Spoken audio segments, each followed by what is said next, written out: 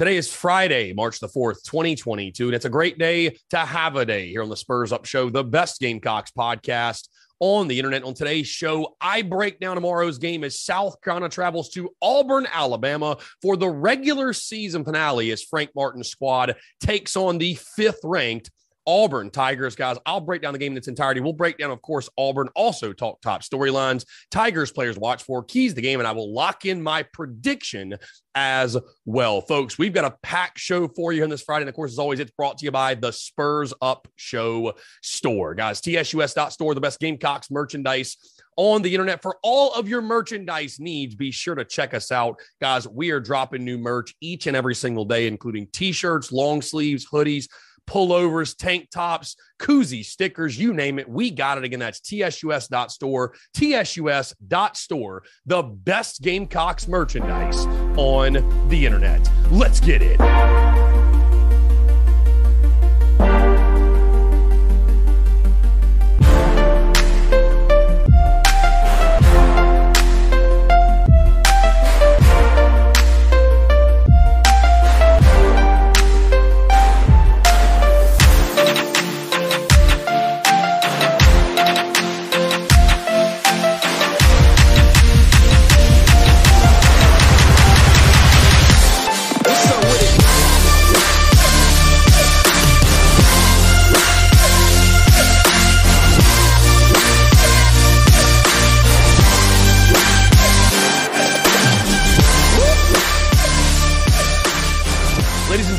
Boys and girls, one thing is for certain it is a horrid weekend to be a Tiger. Folks, hope you're all doing well. I'm Chris Phillips, your host of the Spurs Up Show. As always, appreciate you all tuning in. We have got a packed show for you here on this Friday, this game day, if you will. As first things first, South Carolina baseball begins their series against the Clemson Tigers tonight at Founders Park. Also, Dawn Staley, the Lady Gamecocks begin their pursuit of the SEC championship as they take on Arkansas at one o'clock. But of course, guys, we are focusing today on the season finale tomorrow for the Court Cocks in Auburn, Alabama, as the Gamecocks travel to Auburn Arena to take on the fifth ranked Tigers. Going to be an exciting weekend, of course, for us all. And again, guys, cannot wait to take in all the action with you all. Again, guys, just a quick reminder, of course, dropping this on Friday. It is game day and it's tailgate day as well. The TSUS and Carolina Ale House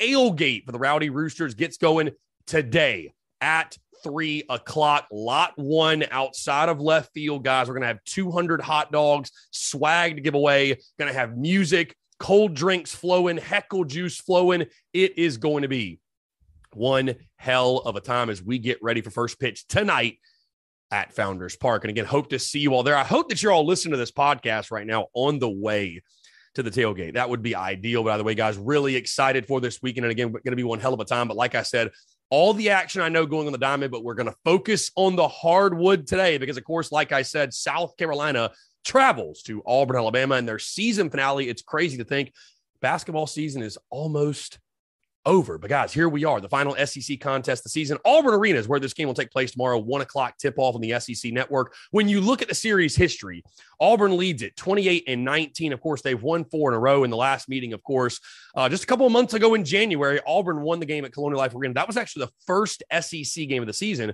by a final score of 81 to 66. The fifth ranked Tigers are 26 and 4 overall, 14 and 3 in the SEC. Their head coach, of course, is Bruce Pearl, and the Tigers average 79.2 points per game, and they're holding their opponents just 66.9 points per game.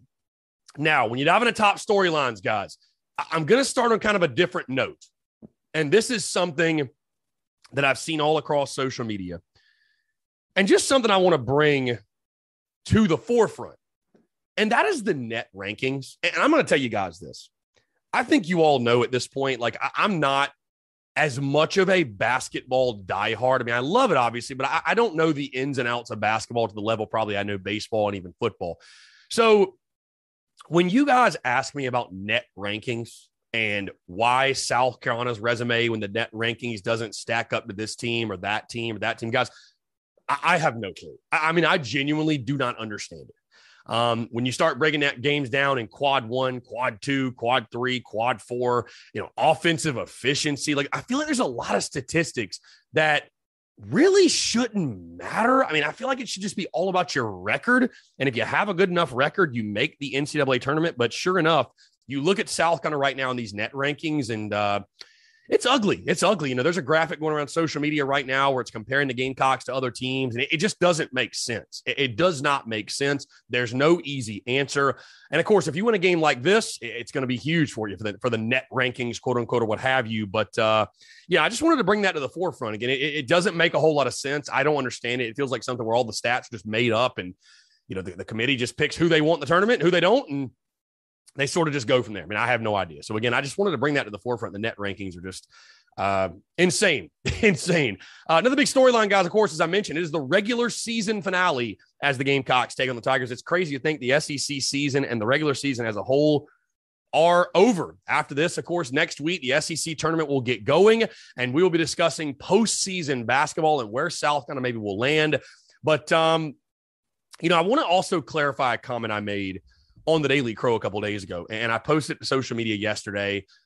And of course, it got a lot of reaction. And that was the the comment that I made was this: is that South Carolina, love them or hate them, they exceeded expectations under Frank Martin this year. Okay, now to what I said, I picked the Gamecocks to go six and twelve guys in the preseason in SEC play.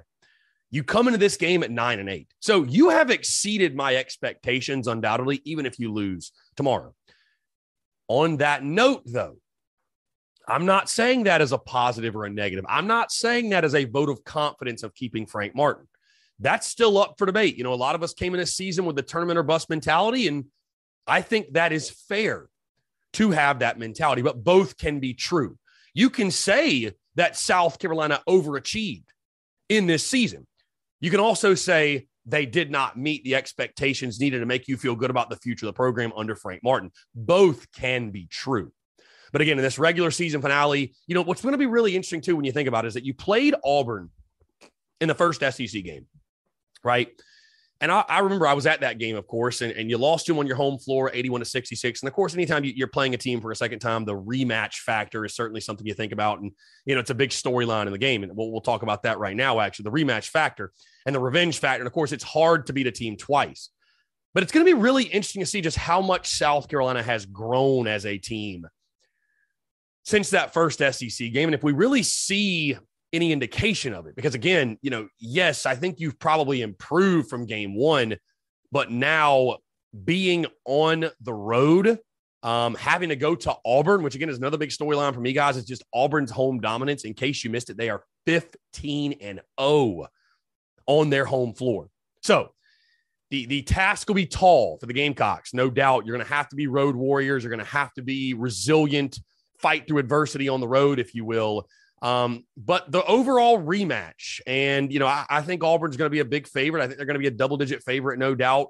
And uh, you know, while your win on Tuesday was ugly, a win is a win is a win. And you do have confidence, you do have some momentum, and you know you have something on the line. You're sort of playing with your backs against the wall. And if you have any hopes of the NCAA tournament, you got to win this game and pull a massive upset tomorrow.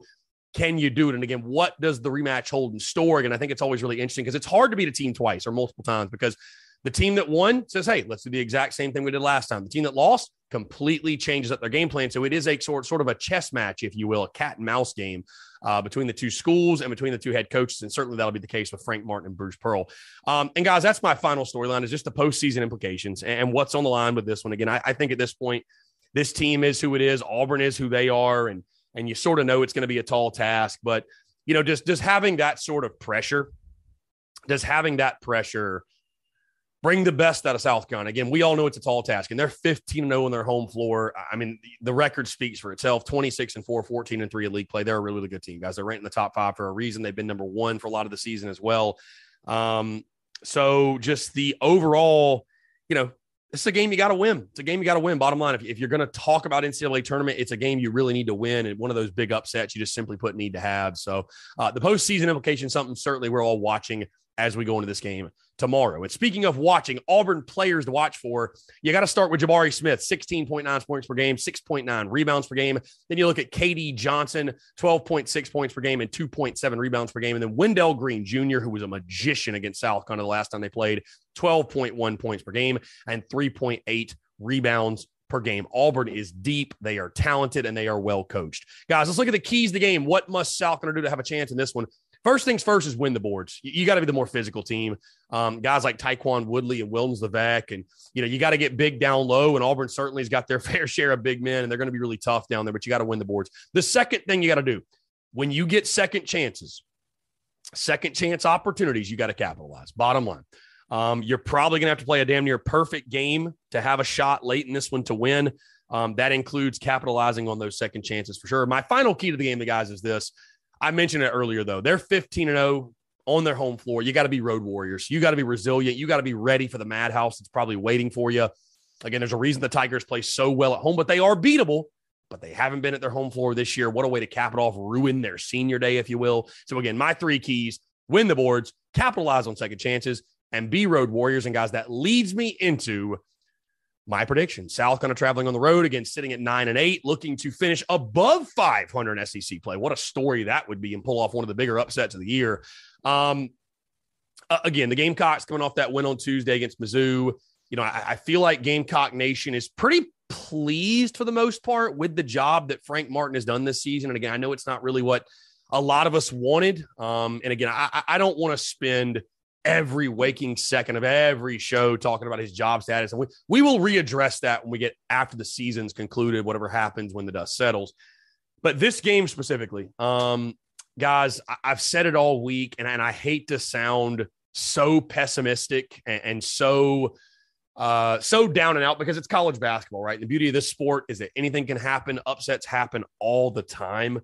But there's a better chance of me sprouting a pair of wings and flying to the upstate for the third baseball game than there is of South Carolina beating Auburn. Auburn is a complete team, top to bottom. The Gamecocks struggled on Tuesday to beat a really, really bad Missouri team on their home floor. Um, I, I, don't think Auburn is going to have a lapse in concentration on their senior day on their home floor place. They've gone 15 and 0. And I think the Gamecocks will battle Auburn early. But as you saw in the first contest, it, it's just a, a differentiation in talent um, Auburn is just head and shoulders better than you again. It will it will take a Herculean effort from guys like Erik Stevenson, Jermaine Couisnard, Keyshawn Bryant, you know, James Reese, of course. It will take a near perfect effort, and I'm not even sure that will be enough. So again, with that being said, I think Auburn guys again, there's no shame. As I said last weekend, there was no shame in losing at Bama. There's no shame in losing at Auburn. Auburn's the fifth ranked team in the country for a reason. You know, and unfortunately, you put yourself in a position where you need to win but that doesn't really matter. Auburn's just better than you. They're flat out better than you. Uh, there's no way around it. So again, I'm going to lock it in, guys. Give me the Tigers winning this one. Auburn 87, South Carolina 69. Again, I just think the Tigers, man, they're for real. They're legit. This is a definitely an elite eight, final four type of club. And uh, yeah, so I, have got Auburn getting the win 87 to 69. I'm locking it in, guys. Would love to hear from you, your thoughts, your predictions, everything else. Um, yeah, and what should be a fun weekend, guys. Like I said, we've got the men's basketball game tomorrow. We got women's today at one o'clock. We've got our tailgate. I'll be doing the Daily Crow live from the tailgate. Going to be one hell of a weekend. Uh, and also, really quickly, a note, you know, on this baseball series before we get out of here, of course, it was announced yesterday by Mark Kingston that uh, James Hicks out for the year with Tommy John. Julian Bosnic has not started even throwing a baseball. So this weekend is Will Sanders, TBA, and TBA. And I tell you this, though, guys, you know what? baseball is all about adversity. It, it is, and it's it's not an ideal situation to be in. But guys, if, if you take nothing else out of this podcast and you take nothing else out of me going into the weekend, don't make excuses. Win anyway. That is the attitude. That's mentality of Carolina baseball. It always has been. It always will be. Win freaking anyway. Guess what? Winning 15 to 12 does the exact same job that winning two to one does, guys. If you got to swing it, then swing it. It is what it is. So We'll see what happens. Going to be a ton of fun. I will be for sure at the Friday, Saturday games, TBD on Sunday. But uh, really, really excited, guys. Cannot wait to party with a bunch of rowdy roosters, give Clemson baseball hell all weekend, and uh, you know, just have a blast. So again, guys, appreciate you. Thank you so much for the love and support. Let's have us one hell of a weekend. Go Cocks, beat Clemson, beat Auburn, beat Arkansas today, and we'll talk to you on Monday.